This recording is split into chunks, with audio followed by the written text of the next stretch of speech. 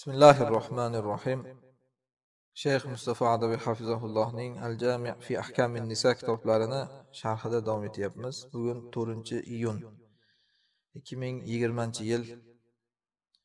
Uylanish mumkin emas ayollar haqida o'qiyotgan ekanmiz. Tahrimu nikahil mu'mini mushrikatan val mu'minati bi mushrikin. Mo'min erkak mushrik ayolga uylanishi haromligi va mo'mina ayol mushrik erkakka turmushga chiqishi haromligi. Buni ham ko'p gapirilgan o'rnida endi shunga qaramay yana bir eslatib o'tilinyapti mana. Olloh oyatda aytgan mushrikalarga uylanmanglar to iymon keltirmagunlaricha iymon keltirgunlariga qadar.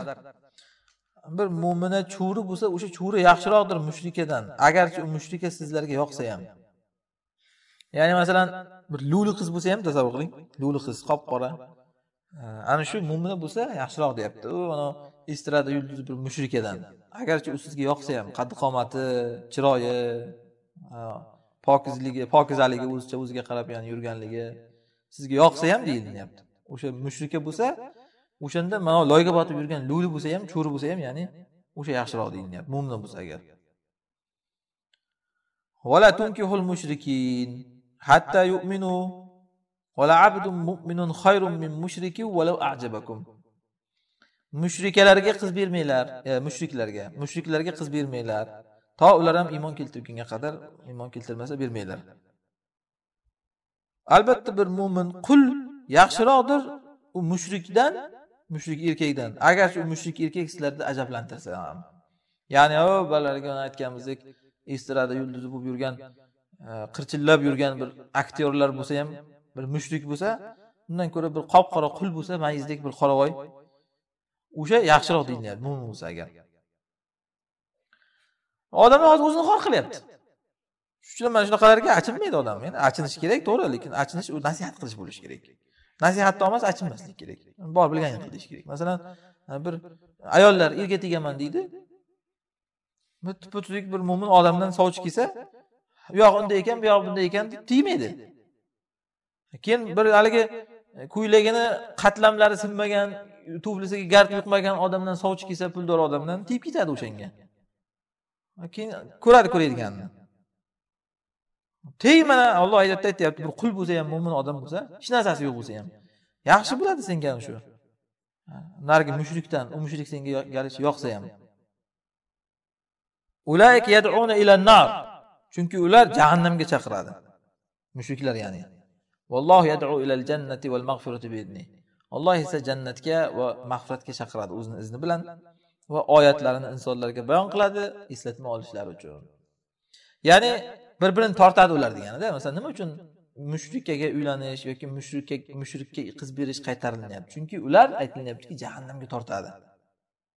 Agar masalan mushrikka qiz bersangiz qizingizni mushrik qiladi u nafaqat mushrikka hayotda o'zingiz ko'ring. kimga bersangiz o'sha qiladi qizizni u. O'zi qiladi. Havorijga bersangiz qizizni havorij qiladi. Murjiga bersangiz qizizni murjiy qiladi. Bir mo'minga bersangiz mo'min qiladi. Taqvodorga bersangiz taqvodor qiladi. Dehqonga bersangiz dehqon qiladi qizizni kimga bersangiz o'ziga o'xshatadi qizizni ana shuning uchun ham o'sha mushrikka berma deyilyapti chunki u jahannamga chaqiradi. Ertaga xotinni oladida tuppa bir muslim ayolni kofir qilib yuboradi aksi ham shunaqa. Mushrikaga uylanma degan Э, bir dinsiz mushrikaga butga sig'inadigan molga sig'inadigan chunki yerni ham tortib shunaqa mushrika qiladi u. Endi bu yerda bir savol tug'iladi. Ahli kitobga uylanish ruxsat berilganku aslida. To'g'rimi? Masalan nasroniyaga uylanish e, yahudiyaga uylanish. Ahli kitoblar ham mushrik. Ular ham isoga sig'inadi masalan maryamga sig'inadi uzayrga sig'inadi yahudiylar nimaga unga ruxsat berilyapti desa u asli mushrik emas ahli kitob. Dini aslida u asli asosi bor din xristianlikda asosi bor injil iso alayhissalom yahudiylikda asosi bor tavrot muso alayhissalom hozir mana bu oyatda mushrikaga mushrikka e, mushrikaga uylanmanglar deganda asli mushrikalar ya'ni asli o'zi yo'q tagida dinini asli yo'q o'zi.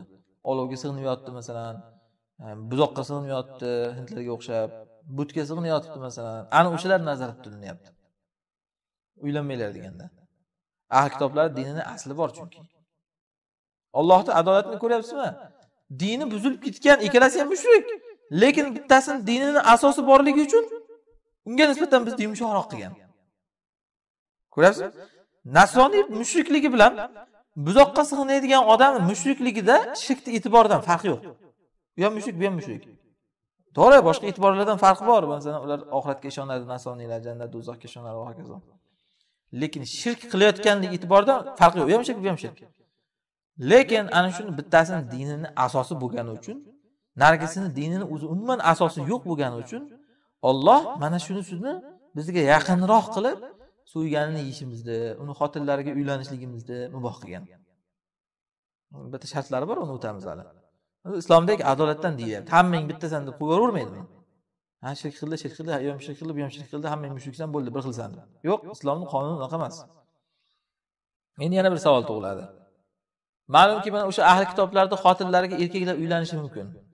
Nega ayollar musulmon ayollar ularni ahli kitoblarga erkaklarga tegishi mumkin emas? Masalan musulmon erkak aytilyapti. Ahli kitob ayolga uylanishi mumkinda. Nega muslima ayol ahli kitob erkakka tegishi mumkin emas? Sabab al islamu ya'lu va la yu'la alayh. Islom oliy turishi kerak har doim. Undan bir boshqa din oliy turmaslik kerak. Musulmon erkak yahudiya nasroniya ayolga uylansa oliy turibdimi? Erkak baribir u. Oila boshi.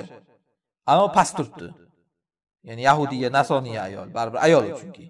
Uni hukmi ostida ya'ni musulmonni hukmi ostida. Xuddiki bu masalan musulmon davlatda yahudiy nasroniylar yashaydiku. To'g'rimi? Ana shunga o'xshaydi. musulmon oliy bo'ladida unda chunki. Shuning uchun yashayveradi yahudiy nasroniy musulmon davlatda. Mana bu yerda ham xuddi shunaqa. Oilada erkak musulmon oliy bo'ladida yahudiya nasroniy ayol uni hukmi ostida erkakni hukmi ostida yashayveradi endi agar aksi bo'lsa ya'ni muslima ayol bir yahudiy yoki nasroniy erkakka erga tegsa past bo'lib qolyaptimi islom? Uni kim boshqaryapti? Yahudiy boshqaryapti uni yoki nasoniy boshqaryapti u ayolni. Bu mumkin bo'lmaydi. Chunki islom past bo'lib qolgan bo'ladi. Islom past bo'lishi mumkin emas. Kalimatulloh ulya degan olloh ollohni kalimasi u oliy chunki degan.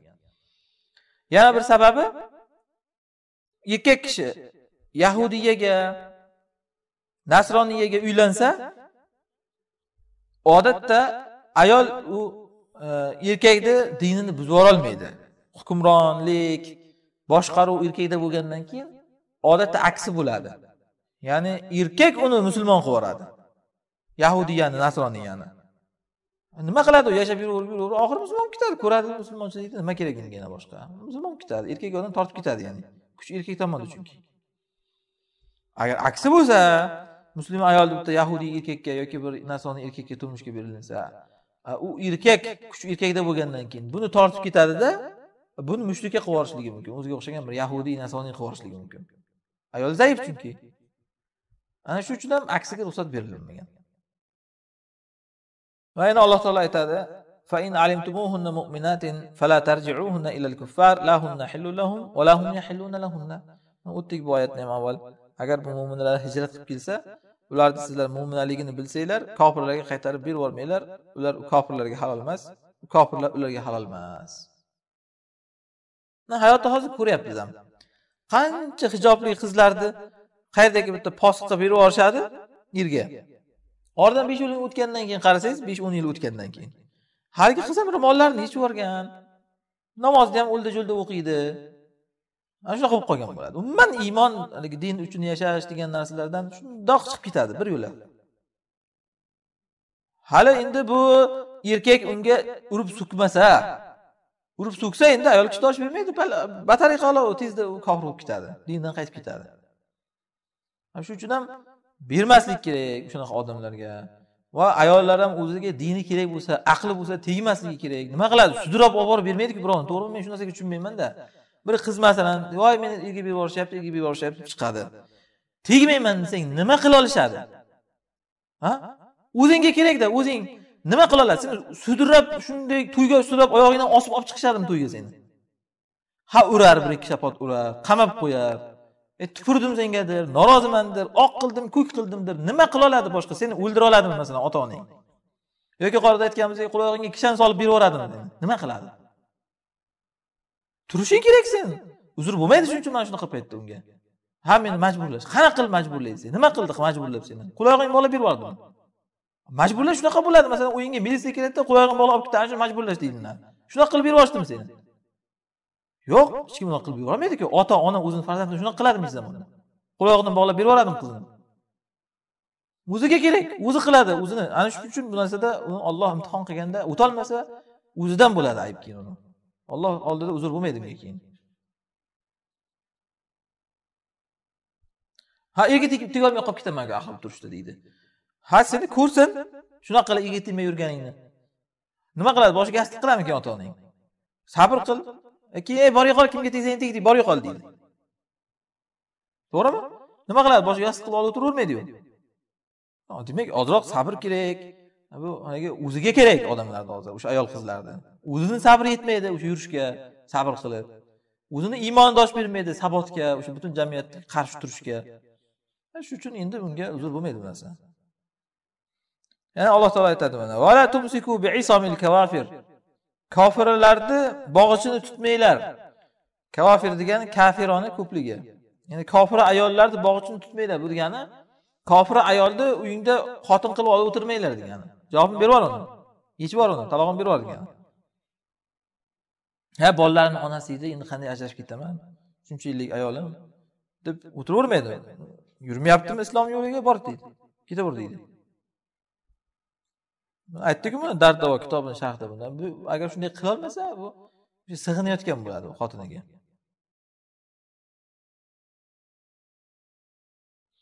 Mana ibn kasir tobariylar imom shinqitiy e, buxoriy va boshqalarda kelgan mana. Yuqoridagi mushrikalarga uylanmanglar deganni ichidan istisno qilinadi yahudiy va nasroniylar. Ya'ni ularga uylansa bo'lishligi deb aytganlar tafsirlarda narigi oyatni tafsirida keladi e, ya'ni kofirlarni bog'ichini tutmanglar degan oyatni tafsirida imom buxoriyda e, sahobalar sahobalarga buyurilgan shu oyat tushganda kofiri bo'lgan makkadagi xotinliklarni taloq qilinglar deb oyat tushgan. Shunda kelgan umar roziyallohu anhu bitta kofira xotini bo'lgan shu oyat tushgandan shundoq shu zahoti talog'ini berib yuborgan. Endi o'sha paytgacha hali hukm tushmaganligi uchun yuravergan endi qaytib qolar qaytib qolar deb ana shu oyat tushganda kofir xotinlarni bog'ichini ushlab o'tirmanglar degan oyat tushgan zahoti shunday javob berib yuborgan keyin qarab o'tirmagan hech narsaga. Ikkita xotin deyilgan ekan bitta emas ikkita xotinni talog'ini berib yuborgan. Keyin u xotinlarni biriga moviya abu sufyon uylangan boshqasiga sofon ibn umayya uylangan ekan. Ularda kofir bo'lganda moviya anhu ham sofon ham kofir bo'lgan. O'shanda keyin umarni o'sha sobiq kofir xotinlariga o'shalar uylangan bo'lgan ekan. Lekin milkil yamin bilan halol bu. Buni albatta o'tgan darslarda ham aytdik. Nima degani? Milkil yamin bilan masalan bitta erkak cho'risi qanaqangi diyonat vakili bo'lishidan qat'iy nazar undan foydalanaveradi. Uylanmaydi foydalanaveradi. Shunchaki shunday bozordan sotib olib kelib iddasini chiqarib yotib ketaveradi bilan nikoh hech narsa shart emas. U xotin emas u cho'ri u. mushrikami u cho'ri yahudiyyami nasroniyyami ateist cho'rimi hech narsaga ishonmaydigan. Farqi yo'q. Cho'rida diyonat shart emas unda ya'ni foydalanaveradi erkak. Yana haligi farqini aytgan ekanlar bu yerda mana. Shayx muhammad atiya salim azvoil bayon kitobida. Ya'ni nima uchun muslima ayol yahudiy yoki nasroniy erkakka turmushga chiqishi mumkin emasda aksi mumkin. ya'ni musulmon erkak yahudiyga nasroniyga uylanishligi bitta farqi shu farqlardan bitta farqi. musulmon erkak yahudiyaga nasroniyaga uylansa uni diniga iymon keltiradi musulmon odam to'g'rimi? masalan biz musulmon tarzida erkak bo'laylik ayol bo'laylik yahudiylik degan nasroniylik degan haq din bir vaqtlar bo'lganiga ularni payg'ambarlariga kitoblariga iymon keltiramiz biz. to'g'rimi ana shu uchun bo'ladi. Ammo hozir bir musulmon ayol bir yahudiyga erga tegsa nasroniyga erga tegsa u yahudiy nasroniy buni diniga iymon keltiradimi muslimaga? Diniga islomga? Yo'q. Ana shu uchun mumkin emas. Ko'ryapsizmi? Farqni musulmon odam yahudiyga nasroniyga uylansa chunki uni diniga iymon keltiradi. Ammo musulmon ayol yahudiyga nasroniyga tegsa u yahudiy nasroniy uni diniga islomga iymon keltirmaydi u. Ana shu uchun ham u mumkin emas. Kimdir kelib aytsaki agar iymon keltirgan bo'lsachi desa iymon keltirsa musulmon bo'lib qolishi kerak. Yo musulmon emas shunchaki haq deb bilsa muhammad payg'ambar deb masalan desa yolg'on bo'ladi bu gap sallallohu alayhi vasallam. Nima uchun? Chunki agar muhammad alayhissalomni hozir payg'ambar desa u odam rasul aytib qo'yibdilarki yahudiylik nasroniylik dini yo'q endi deganlar. Muso tirik bo'lsa menga ergashardi deganlar. Atbosini qo'ying muso alayhissalomni. O'zi tirik bo'lsa ham menga ergashardi deganlar. Iso alayhissalom ham xuddi shunday qiyomatdan avval tushib rasulullohga oddiy ummat bo'ladi. Ana shu gapga kofir bo'lgan bo'ladi baribir u. Shuning uchun ham muhammad alayhissalomga iymoni iymon hisoblanmaydi u payg'ambar desa ham agarchi. Toki o'zini dinini tark qilmaguncha keyingi mavzuda mana ibahatu nikahil kitabiyat kitobiya ayollarga uylanish mubohligi haqida aytibdilar. Alloh taolo oyatda aytadi. Kitobiya kim asli? Yahudiya nasroniyalar. alloh taolo oyatda aytgan al yawma uhilla lakum at-tayyibat wa ta'amu alladhina utul kitaba hillun lakum wa ta'amukum hillun lahum والمحصنات من المؤمنات والمحصنات من الذين أوتوا الكتاب من قبلكم إذا آتيتموهن أجورهن محسنين غير مسافحين ولا متخذي أخدان ومن يكفر بالإيمان فقد حبط عمله وهو في الآخرة من الخاسرين moida surasining beshinchi oyatida bugun sizlarga pokiza narsalar halol qilindi kitob berilganlar yahudiy nasroniylar ya'ni ularning taomi sizlarga halol sizlarni taominglar ularga halol. Ya'ni so'yganinglar va muhsonat mo'minalar sizlarga halol va muhsonat bo'lgan ahli kitoblar ham sizlarga halol sizlardan avvalgi ahli kitoblar. Muhsonati kim endi? Muhsonat deganda afifat degani. Ya'ni borib haligi ahli kitobga uylanish mumkin deb mana qarang. Hozir odamlar rossiyalarda yurib bir hamma bilan yotib ketaveradigan bitta qizni topib olib uylanib olyaptiku o'shanga? Harom bu. Haqiqatda o'zi ahli kitob bo'lsa ham u qiz hali. Tushunyapsizmi? Zoniyaga uylanish buni siz? Zoniyaga uylanish. U zoniya muslima bo'lsa ham harom qilindi. To'g'rimi? Zoniyaga uylanmanglar dedi. Endi mushrika bo'lsa qanaqa halol bo'ladi unga uylanish? Yahudiya nasroniya bo'lsa. Muslima zoniyaga o'zi uylanish mumkin emas.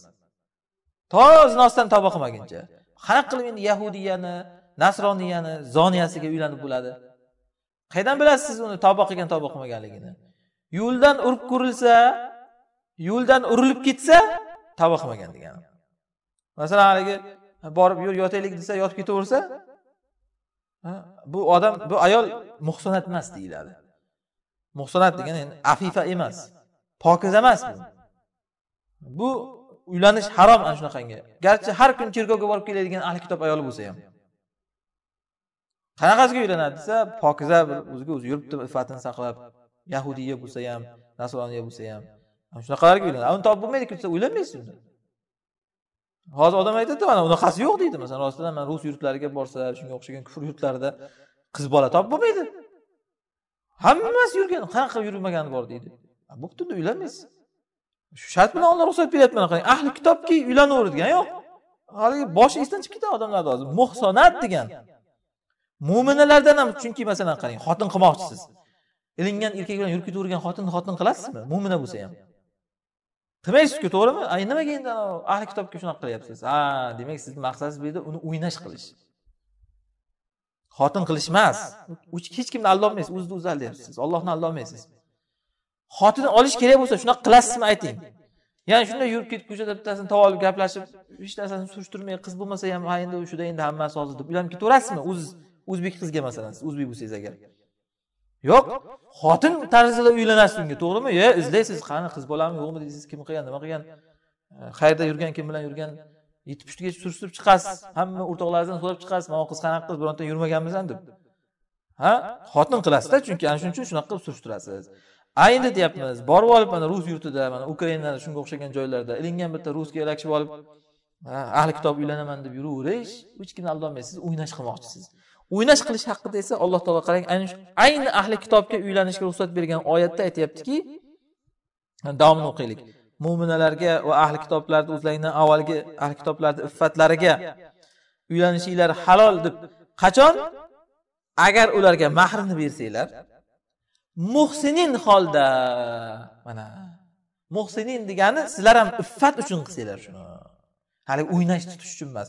G'oyri musafihin zino maqsadida emas deyapti qarang. Musafihin degani ya'ni zinokorlik ko'rinishida emas.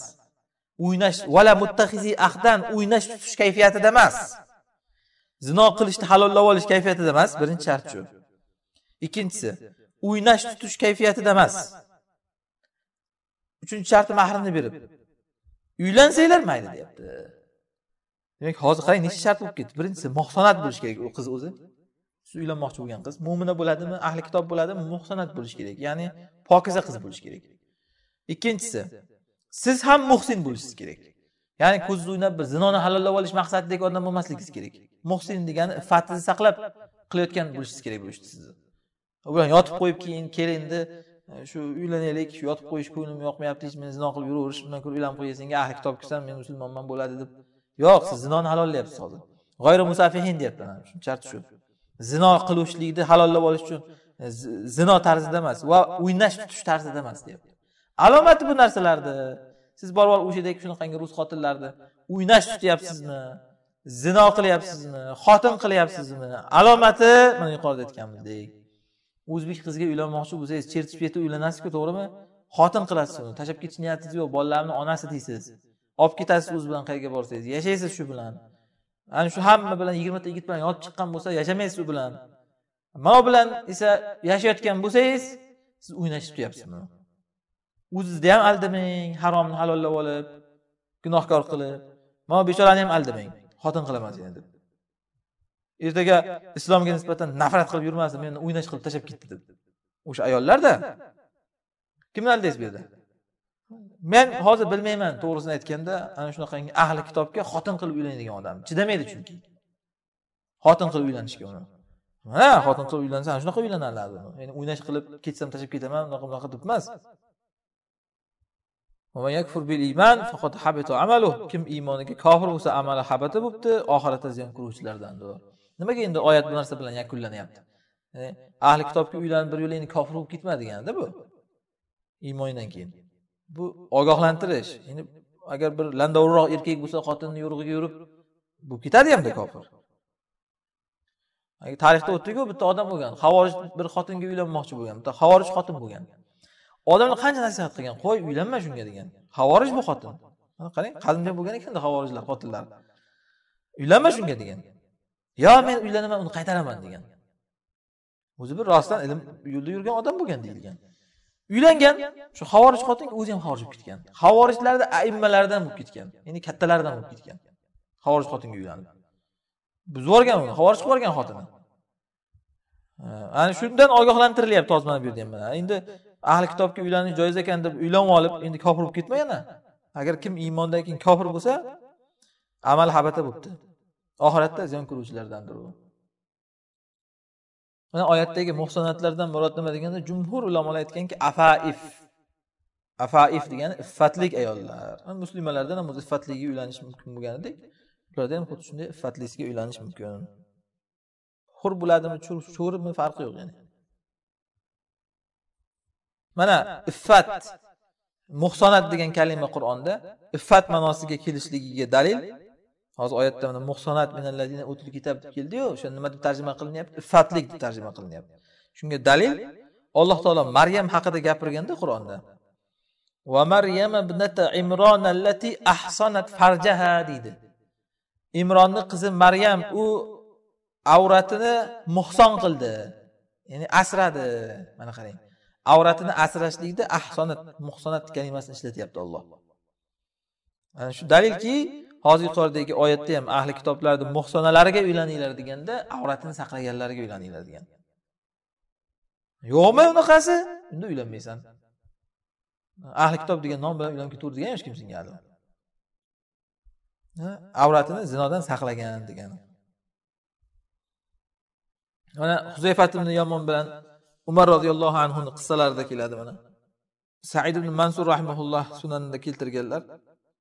Huzayfat ibn yamon roziyallohu anhu sahobiy bir yahudiya ayolga uylangan ekanlar. Keyin umarga maktub yozganlar. Yani umar unga maktub yozgan to'g'ri aytsak. Umarga xabar yetib borgan huzayfa bitta yahudiyaga uylanmoqda desa umar e, huzayfaga maktub yozgan umar xalifada haqqi bor. Talog'ini ber uni degan. Yo'qot degan yahudiya xotinni shunda endi qarang aslida huzayfa hech kim emas umar huzayfaga ya'ni. Lekin xalifa tarzida endi sendek odam degan shunday katta sahobiy. Yaramaydi bunaqa qilib yahudiyga uylanib yurishing degan. Yo'qot talog'ini ber degan. Shunda huzayfa maktub yozgan umarga qarab nega? degan. Harommi u degan. Umar maktub yozganki yo'q harom deyotganim yo'q men senga degan hozir ham odamlar shunaqaku. Yo halol yo harom. E, kim aytdi sizga bunaqa deb? Axir rasululloh hadisda aytganlar mushtabihat halol bilan harom o'rtasida bir shubhali ishlar bor odam shunaqa qilib sizni yoqangizdan tutmoqchi bo'ladi hozir. Bir narsa yaxshi emas desangiz harommi deydi ha bir narsani qilsa endi harom emas desangiz halol demoqchisizda deydi kim aytdi senga bu narsani o'rtasida bog'liqlik bor deb? Ya'ni harom demadingmi? Demak halol demoqchisan. Shu jihatda boshqa nima edi? Deb halol demadingmi? Bu bilan harom demoqchisan. Kim aytdi senga bunaqa narsani? Umar ham mana aytyapti huzayfaga qarab. Harom desa huzayfa yo'q senga men harom deyotganim yo'q deyapti. Lekin men qo'rqamanki ulardan sizlar mumisalari bilan shug'ullanib ketasizlar. Mumisa degani poxsha degani. Ya'ni ahli kitob deb turib mana hozir aytganimizdek hammasi qiz qizlari yo'q ularda buzilib ketgan maktabdan o'zi qiz chiqmaydi hech qaysisi kollejdan qiz chiqmaydi. Juda borsa universitetdan keyin qiz chiqmaydi. To'g'rimi? Ana o'shanaqalarga uylanib ketasizlar degan sizlar borib borib degan. Ana shuning uchun yo'qotib degan seni ko'radida bittasi hozir huzayfa uylangan ekan deb surishtirmay palapartish ilinganiga uylanib ketaveradi fohishalarga ular degan. Hamma yoq buzib ketadi islom keyin. A valadi zinoni kimligini hammamiz bilamiz to'g'rimi? Zoniyadan tug'ilgan odam o'sha bir qamchi valadi zino bo'ladida u ham valadi zino deyilmasa ham aslida zoniya qiz bo'lsa unga uylansa bitta odam. Undan tug'ilgan bola kim bo'ladi? Islomni yemiraydigan bola bo'ladi. Yetimxonadan olingan odamlar podshoh bo'lib nima qildi mana xalqlarni ko'rdiku. Ular ana shundan qo'rqaman deganlar bular islomni yemiradi kushandasi bular endi. Musulmonlarga zarar beradi. Bitta katta bo'lib hammasi bular e, kofirni bolalari onasi kofira zoniya onasi hamma yoqqa zarar beradi degan ochiq dalilki mana bu ham bunaqangi buzug'iga fohishasiga uylanib bo'lmaydi ahli kitob ayollarni va ashobi shuroni oltitasidan ham bunaqa asarlar kelgan. Ya'ni ashobi shuroni oltitasi degani umar roziyallohu anhuni maslahatchilari bo'lganda o'shalar hammasi shu narsaga ular ittifoq qilsa bir ijmodek gap bo'lgan bu.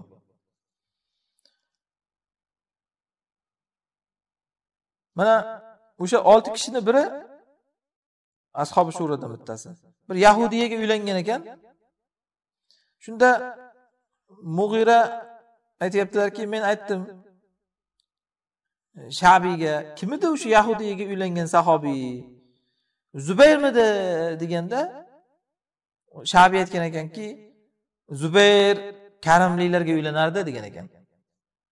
Aytmagan ekan kimligini. Endi fitna chiqmasin har qalay oltita maslahatchilarni davlatni maslahatchilarini bittasi bu deb kimligini aytishmagan ekan lekin yaxshi emas deb rivoyat qilishgan baribir shu narsani.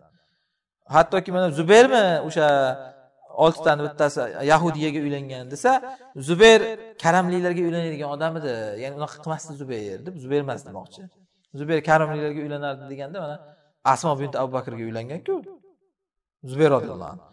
Qilib yahudiylarga uylanib yuradigan odam emas edi demoqchilar. Xullas kimligini aytmayaptilar. Maqsad bu rivoyatdan bizga ma'qullamaganlar shuni.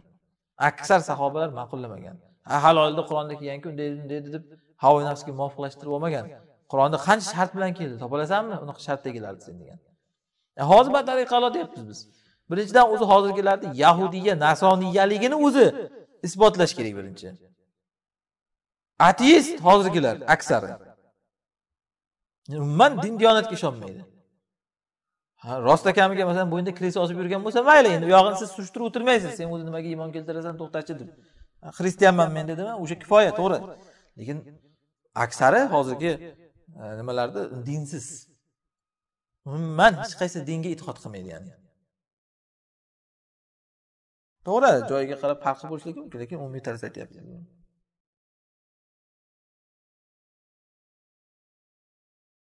mana usmon ibn afon roziyallohu anhu ham ibnatul qarofis ibnatul farofiso degan al kalbiya bir ayolga uylangan ekanlar nasroniya bo'lgan ekan ayol. Ayollarni ustiga uylanganlar ya'ni musulmon xotinlarni ustiga nasroniyani olganlar. keyin u kishini qo'lida islomga kirgan ekan. Mana. Odatda shunday bo'ladida. Shuning uchun ham ruxsat beriladi. Chunki ko'zi yetsa ruxsat beriladi. Lekin bular shunday ekanki endi qadimda arablar islomga kirsa shuni bilib oling mana. Xristian arablar yahudiy ayollar islomga kirsa qadimda. Ular asliga qaytgan ular. Ya'ni o'zi asli arablar masalan ibrohim alayhissalom zurriyotiku musulmon bo'lgan ular qayg'urdan bir adashib yahudiylikka nasoniylikka kirib qolganda ular keyin islomga kirsa haqqoniy kirgan ular islomga asliga qaytgan.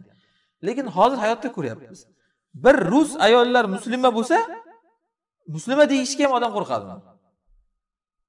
birda bir baribir o'zini eski yahudiyligiga yoki bir xristianligiga o'sha rusligiga tortib turadi. Eri shu zo'rg'a musulmon qilib turadi uni. Eri muslima qilib turadi shu eri o'lib qolsa yoki ajrashsa shunday hamma narsani yig'ib tashlaydi. Islom qalbiga kirib bormaydi nimaga endi shunday olloh biladi? Ehtimol cho'chqa yeyverib qalblari ham o'lib ketganmi ularda? Nasl nasabiga urib ketganmi bir harom xarij bilmaysiz shunaqa. Shunaqangi rus ayollar muslim bo'libdi deganiga ko'piga ishonib bo'lmaydi. Bu yoqdan kirib bu yoqdan chiqib ketaveradi islomni. Endi hammasi emas albatta. Lekin mana shunaqalar aksar shunaqa yani. Shuning uchun ham qiyin. Bunaqangi qilib unga uylanib muslima qilaman degan gaplar. Kirib islomda turib bergani ham yo bir madhariy bo'lib ketadi qarasangiz? To'g'ri tushuna olmaydi islomni. Yoki bir havorij bo'lib ketadi. Ularni fitratiga umuman islom teskari bo'lib ketgan. Aslida fitrat islom lekin ularni fitratiga qanaqadir umuman islom zid bo'lib ketgan. To'g'ri tushunmaydi islomni. Biz tomonlarda odamlar o'sha ota bobosidan musulmon bo'lib kelganligi uchun buni ta'siri bor. Qanchalik johil ayol bo'lsa ham masalan yoki erkak bo'lsa ham. Shunday islomga qaytib qolsa to'g'ri tushunadi islomni. Ko'ryapmiz hozir mana aktrisalar islomga kirsa aktyorlar islomga kirsa qanaqa tushunyapti islomni? Baribir chunki ota bobolari musulmonda bularni shuning uchun ham birdan asliga qaytib qolyapti tezda. Aytamiz haligi tillani ustiga balchiq tashlab tashlasangiz ham bir tog'ora balchiq to'kib yuborsangiz ham e rasvo bo'lib ketdi toza bo'lmaydi deb o'ylaysiz lekin bir paqir suv to'kib yuboring shunday toza bo'lib ketadi to'g'rimi? Bizda odamlar ham ana shunga o'xshaydida asli nasli musulmon shuning uchun ham qanaqa kofir bo'lib ketsa ham shunday islom kirib ketsa shunday qalbiga tushib qoladi birdaniga. Narigilar bo'lsa nauzubillah aksiga aylanib ketgan. Shunday asli tag tubi bilan kofir bo'lib ketgan. Islomga kirsa ham bir ko'mirga o'xshab turadi baribir. Islomni to'g'ri qabul qilmaydi to'liq qabul qilmaydi tushunmay turadi. Mana jobir ibn abdullahdan keladi. U kishidan musulmon kishi yahudiy ya nasroniylarga uylanish haqida so'ralinganda aytgan ekanlar. Biz kufada fath zamonida uylangandik. Sad ibn abu vaqqos bilan o'sha e, nasroniylarga uylangandik yahudiylarga degan. Chunki biz musulmon topolmasdik unda. Ko'ryapsizmi? Muslimalar ko'p emas edi degan e, qaytganimizdan keyin taloq qilib yubordik ularni degan e, musulmonlar bor edi oldimizda keyin musulmonlarga uylandik. Demak bir ehtiyoj hollarida uylanganmiz deyaptida.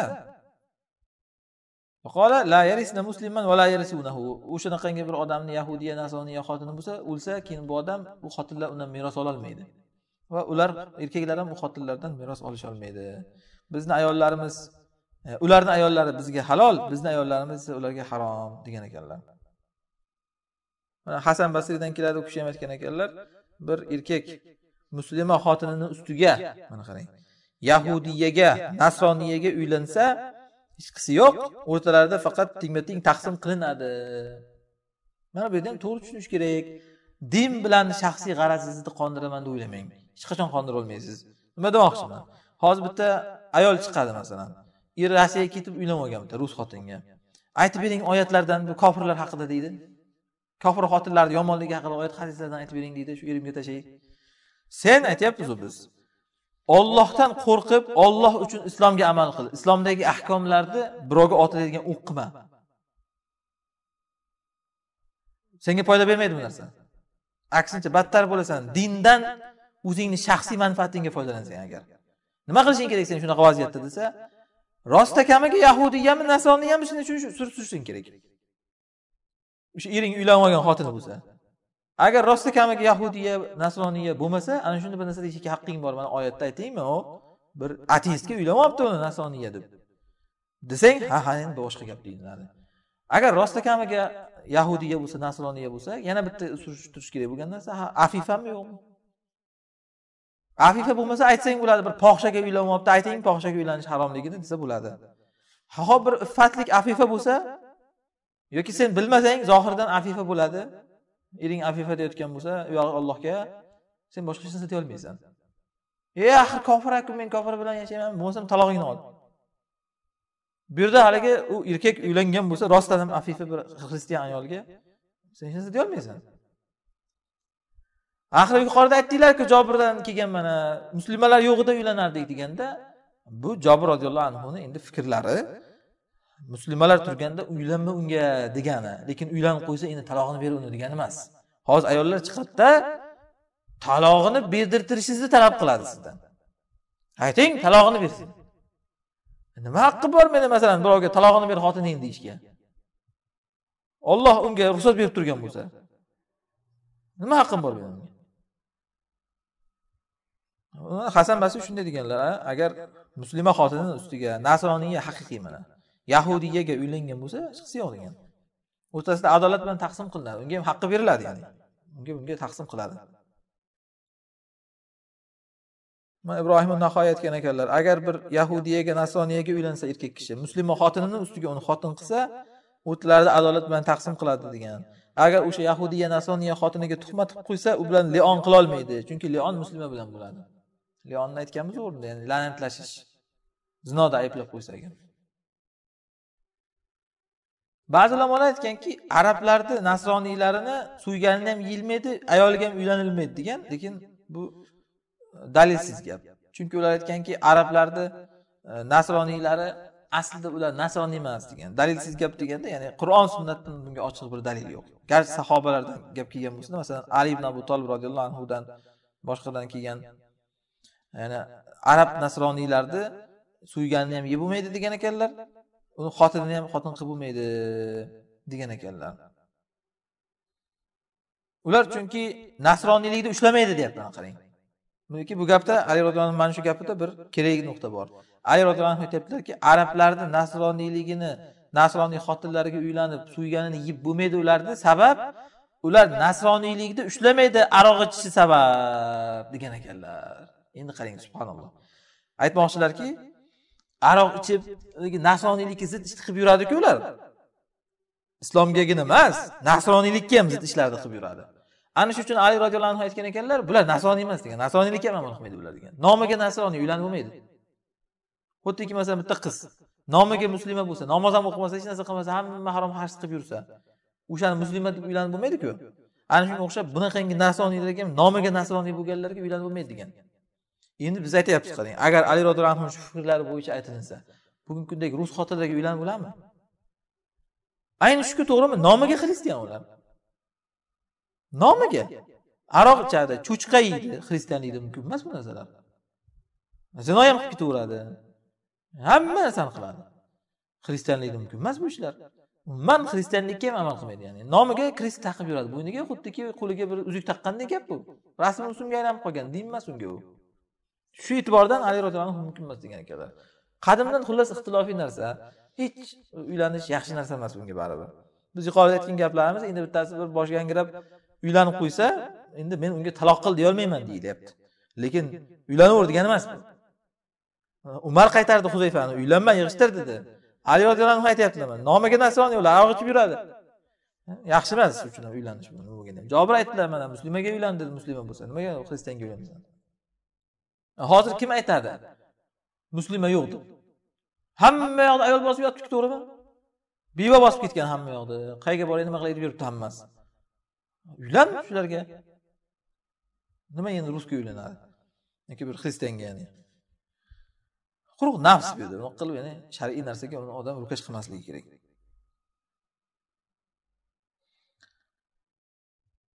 Ammo ibn abbos aytgan ekanlar o'shanaqasiga ham uylansa bo'laveradi degan ekanlar. Mana banu tag'lib qabilasi degan bir qabila bo'lgan ekan arablar. Ular e, mana boshqa bir rivoyatda keyin umar roziyallohu anhuga borib shulardan haqida so'ralingan. Tavrotni o'qishar ekan shanba kuni dam olish qilishar ekan lekin qiyomatga iymon keltirmaydi.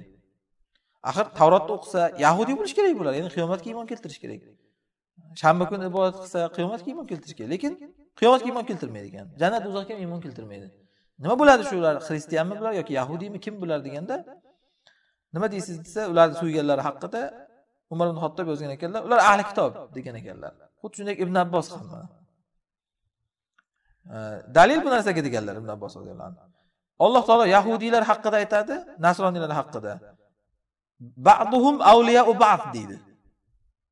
Yahudiy nasroniylar bir birini oshnasi ular. Ya'ni ming bir xil toifasi bo'lsa ham qaysidir oxiratga iymon keltiradi qaysidir keltirmaydi va hokazo. Yahudiy degan millat ularni bitta qilib jamlaydi nasroniy degan millat bitta qilib jamlaydi degan ekanlar.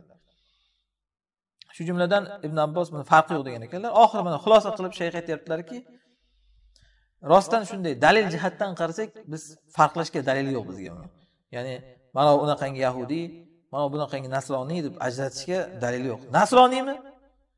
Qanaqa toifasiga mansub bo'lsin nasroniylikni? Halol uni ayoli. Bashart yuqoridagi shartlar bilan pokiza bo'lsa boshqa bo'lsa yahudiymi qanaqangi toifasiga mansub bo'lishidan qat'iy nazar halol. Faqat yuqoridagi shartlar. Pokiza bo'lishi kerak iffatli bo'lishligi kerak va o'ynash qilmasdan uylanish kerak unga. O'sha ham lekin bu halol degani u qilaver degani emas hali xilofil avlo ko'rinishdagi halol. Hamma narsa qilaver degani emas halol bo'lsa agar. Ya'ni yaxshi emas ko'rinishdagi halol alloh chunki oyatlarda umumiy aytgan sizlarga ahli kitoblarda pokizalari halol qilindi degan. Pokiza e, iffatli bo'lsa. Mana bali banu tag'libga o'xshagan qiyomatga iymon keltirmaydigani mumkin emas unisi mumkin emas bunisi mumkin emas degan gaplarga esa qur'on sunnatdan ochiq dalil yo'q. Aksincha qur'on sunnatda umumiy kelgan toifalari uni ajratilmagan. E, mana hozir xristianlikni mashhur bir ikki firqasi bor to'g'rimi? O'shalar qaysiga mansub bo'lishidan qat'iy nazar ayol uylansa bo'laveradi. Hukm jihatdan. Maslahat jihatdan emas. Sahobalardan ba'zilari uylandi. Va hokazo misollarni keltiribdilar. Bu abdulloh ibn abbosni mazhablari. Xullas tushunarli shu yerda to'xtaymiz. Keyingi mavzuda mana to'rttadan ko'p xotin jamlash mumkin emasligi haqida kelibdi maqsad nima bo'ldi bu bo'limdan ahli kitoblarda ayollariga uylanish hukm jihatdan halol dedik maslahat jihatdan emas ya'ni maslahat berilmaydi lekin.